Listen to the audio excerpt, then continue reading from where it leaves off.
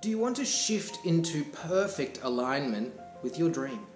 Do you want to shift into the lane where the energy is moving fast and instead of life overtaking you, instead of dreams passing you by, you're right there with it? You're in the thick of the action. Do you want to live a life like that?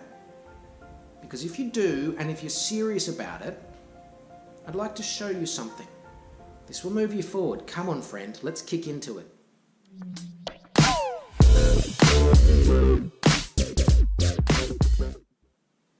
Hello, you glorious soul. Welcome to Elevate. I'm Ben. I'm here every day banging on about spirituality, the law of attraction, living your best life, sharing with you things around brain science, neurology, psychology, things I learned studying for a degree in counseling, all with an aim of taking you from where you are into the place where you live amongst all of your dreams, because that's where you should live. If not you, who? If not now, when? This is your time. So come on, my friend, let's get serious about this. But before we kick into this content, can I just offer you an invitation to subscribe to the channel if you haven't done so?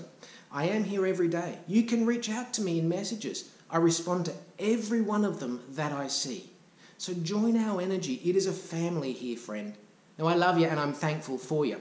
So, today I want to talk to you about coming into perfect alignment, alignment with your dream, with that vision of your life moving forward, and an alignment that is so strong that it's basically impossible to fall out of it.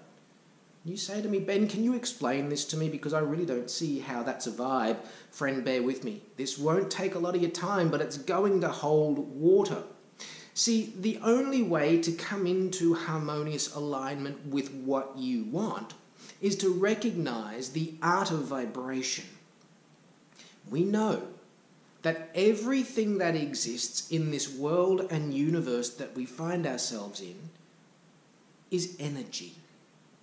Tiny particles of energy, little atoms and nucleuses of cells, and they all vibrate at a specific frequency and the frequency at which they vibrate and entangle dictates the manifested form. You've heard me give the example before of a glass of water. You can pour water from a tap into a glass, and that's energy. When you examine it under a microscope, you don't see a glass of water. You see billions of particles of energy vibrating, and the frequency at which they vibrate dictates the physical form. You can take another form of energy. Let's call it heat. And you can apply that to the water, and those particles of energy are not destroyed, but as the water begins to boil, the energy is transformed from water into steam vapor and it evaporates. You haven't changed or destroyed the water. What you have done is transmuted the energy. Now, your dream your dream has a vibrational code. The mood that you are in right now, it's energy. It has a vibrational code. Ever wonder why we talk about good vibes, bad vibes? It's more than just a way of speaking, friend.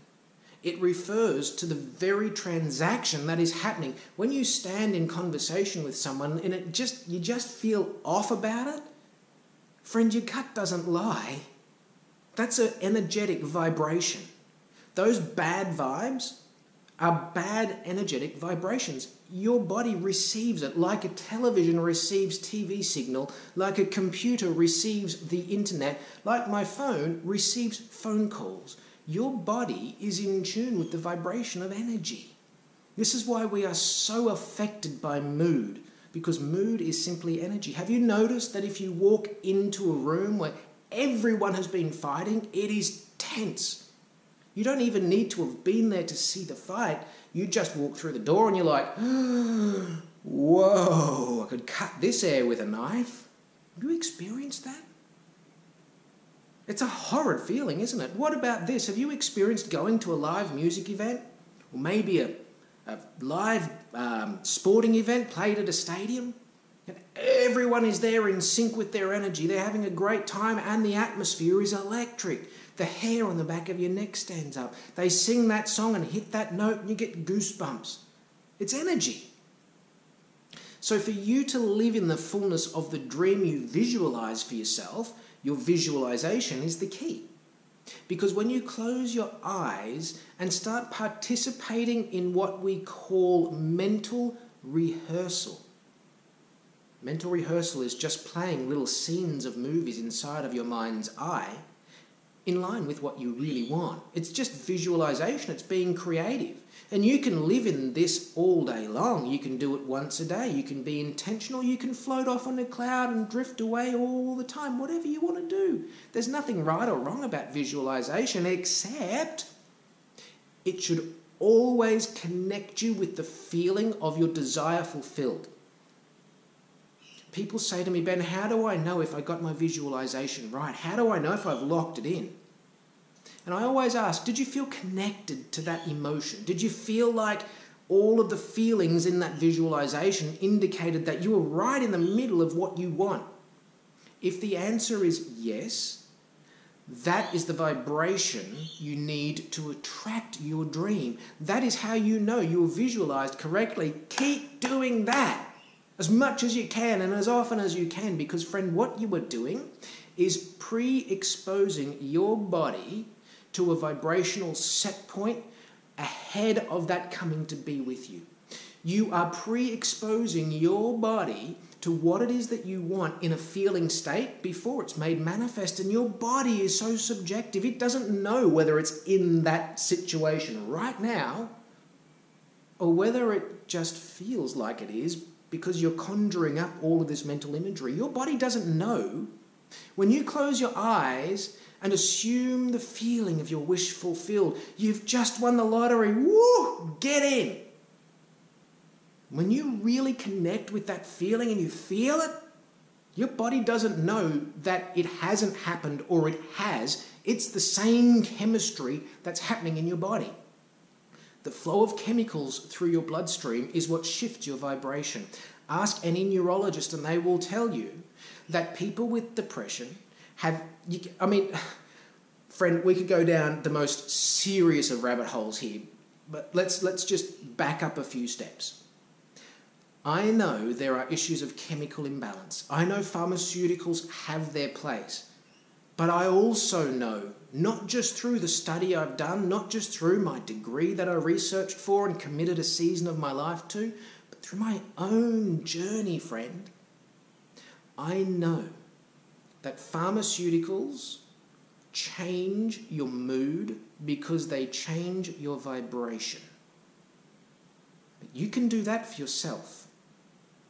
You can change your own vibration. Your mood has a vibration. We can capture it using Kirlian photography and see the energy leaving your body, see the aura surrounding you. We can see thoughts on brain scans as energy. Everything is energy. The dream you want has a vibrational code. You have to keep playing that movie in your mind until you become so familiar with it that it feels like you're already there. And when you do, that is the energetic set point you need to be at consistently to usher in that new day. Now, most people, they can get there, but they can't stay there. Most people, they can close their eyes and do some mental rehearsal, they can do a visualization, they can do a meditation, they can read something they've written in a journal or whatever it might be for them, and they can connect with that emotion. But they can't stay connected. This is where the work is. If it hasn't manifested, work on staying connected to that emotion. You say, Ben, I've got to live in the real world. How am I supposed to stay connected to that emotion? Well, friend, that's where the work is. See, once you become aware of something, you become cognizant of it, you become conscious of that information. And I bet you, if you spend enough time in reflection, maybe listen to this again and recognize the power of what I'm telling you, you won't ever let yourself go unconscious again. You just won't. Because do you know what will happen? You will have a beautiful time of mental rehearsal. You'll connect with the feeling, and then you'll go over to the shops to buy some milk for your coffee, and they will have run out, and you'll have an opportunity to be triggered. And you'll feel it inside of you, and you'll feel the resistance. You'll feel your body temperature start to rise. But this time it's different.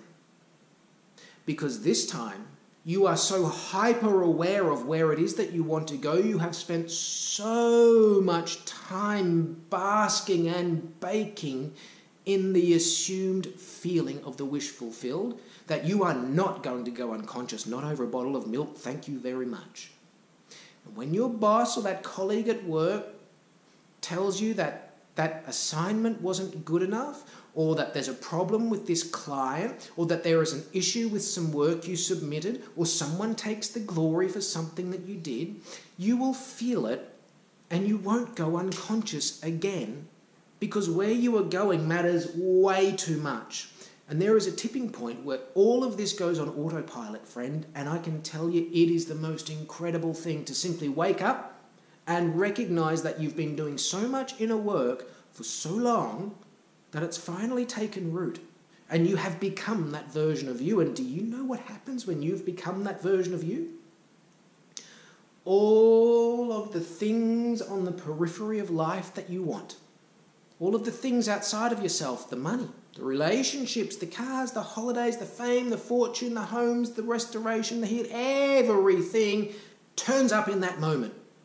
It's a magical time, friend, and you can get there. But you've got to prepare yourself and you've got to come into that alignment and just repeat and repeat and repeat and repeat until it goes on autopilot. And if you're not there yet, keep repeating. Enjoy it. This is a season and seasons pass. When they pass, they pass quickly. And there will be things that you miss about this season. So make the most of them while you are here, friend. Now, I love you. I'm thankful for you. I hope this blessed you. I hope you're going to send it to someone and bless them too. But please do make sure that you are subscribed to the channel. Check these videos out before you find anything else to do if you really are serious about moving forward. Make sure you come and visit tomorrow too. I love you so much.